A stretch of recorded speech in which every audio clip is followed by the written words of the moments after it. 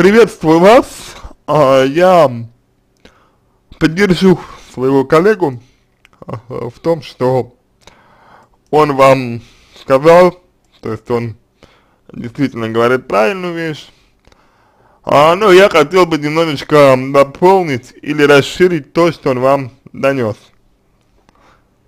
А, понимаете, в чем дело?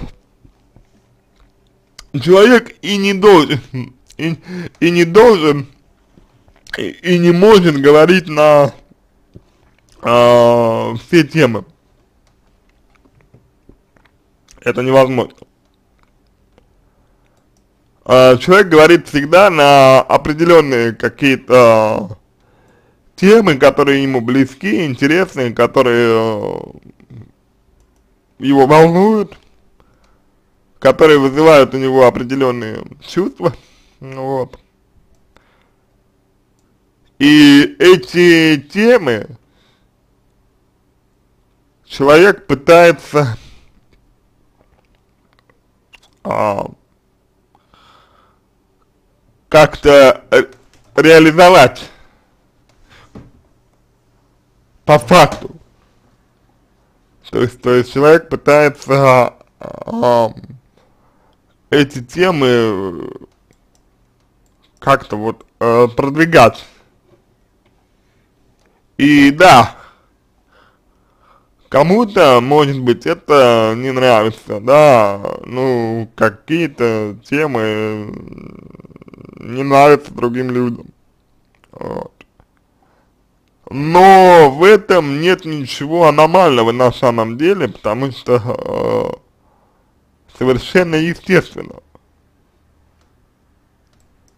Но вам нужно выбрать э, ряд тем, которые являются для вас интересными, актуальными, которые вызывают у вас а, вот это вот волнение, понимаете? Вам нужно выбрать для себя ряд этих тем. И в них стараться э, преуспевать.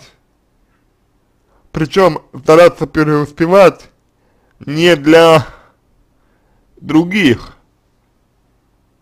не для, например, девушек, которые вас интересуют, а скорее стараться преуспевать для себя, потому что это нравится и интересно вам, и именно вам, и только вам. Подумайте о том, что интересно вам, на какие темы интересно вам было бы поговорить и пообщаться. Просто вас что интересует. И вот эти темы и предлагайте в первую очередь для, ну, для людей.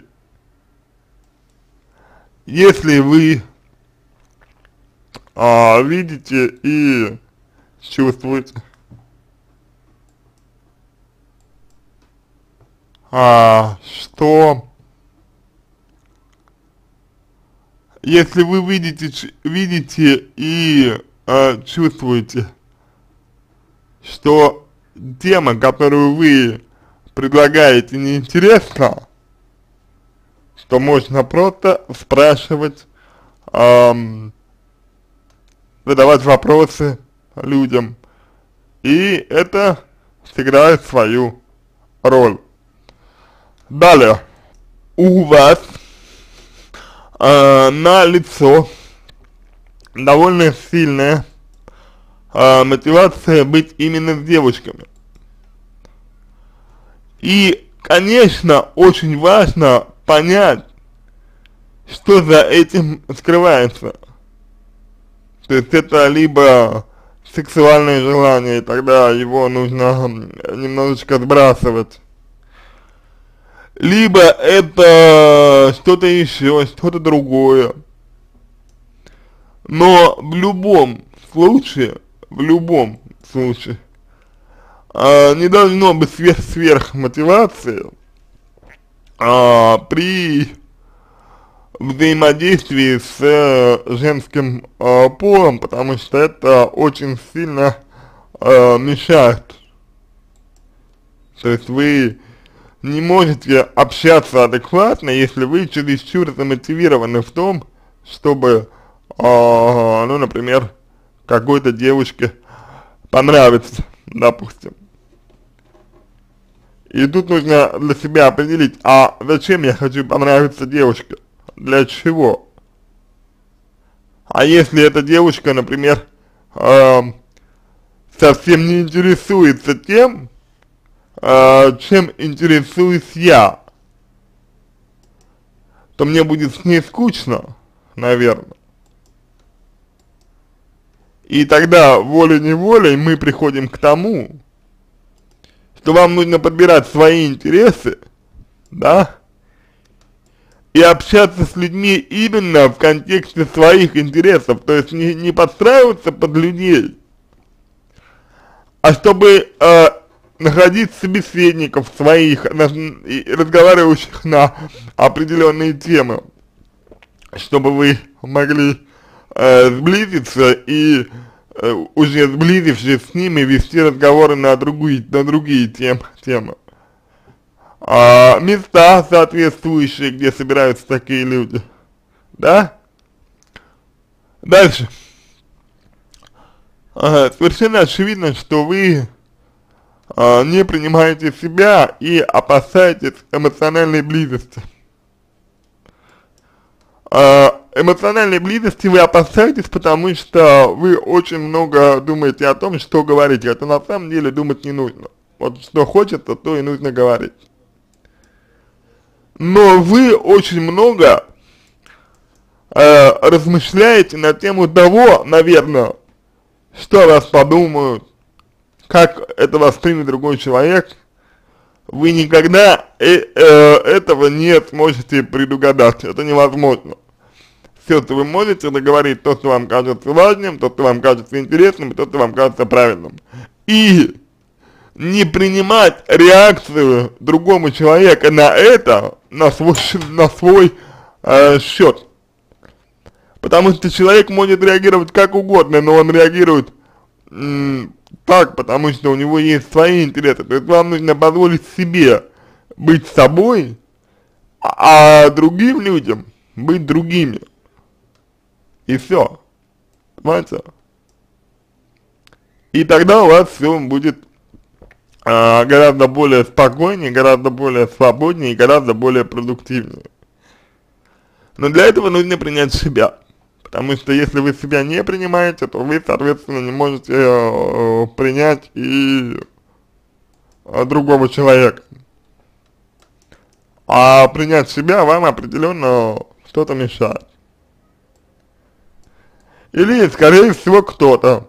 Вот что, скорее что скорее кто-то вам мешает принять себя. Какой-то запрет, скорее всего. Понимаете? Вот. И совершенно очевидно, что в этом нет ничего хорошего для вас. Поэтому, с одной стороны, действуйте вот в таком контексте, в контексте э, когнитивном, с другой стороны, действуйте в контексте э, более подсознательном и работайте над запретами. То есть, э, ну, понятно, что сами вы сделать этого, может быть, не сможете, но э, с психологом вы с этим разберетесь и увидите, э, как, как, как вообще стало, стало э, возможной такая ситуация, что вы э, себя вот так э, не цените, да, что вы себя вот так вот э, не принимаете, что вы себя как-то вот так вообще зажимаете очень, очень сильно, да, и только вся именно в том, э, зачем, с какой целью вы это, собственно, делаете. Вот. Понимаете, какая история? история? Я думаю, что именно так можно ответить вам на ваш вопрос. Э, я надеюсь, что помог вам. А, если у вас остались дополнительные вопросы, пишите в личку, я буду рад помочь. А если вам понравился мой ответ, а, буду благодарен, если сделаете его лучшим. Я желаю вам всего самого доброго и удачи!